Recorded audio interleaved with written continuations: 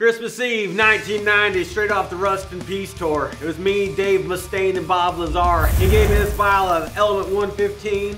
Dave Mustaine gave me this piece off of an alien spaceship straight out of Hangar 18. I'm gonna show you what we were drinking on that night and how to make it. Call it the Megnog. You start out, shot of whiskey, then you drop in some of your Element 115. Some eggnog of your choice. I usually use rocket fuel, but it's hard to get that right now. I'm just gonna use a little bit of Everclear on top. Boom. You take just a little bit of cinnamon like this, right over the top. All right, last but not least, your piece of an alien spaceship. All right, like and subscribe, you might just learn something. Happy holidays and season's greetings into the abyss. Tune in next time. You drink it.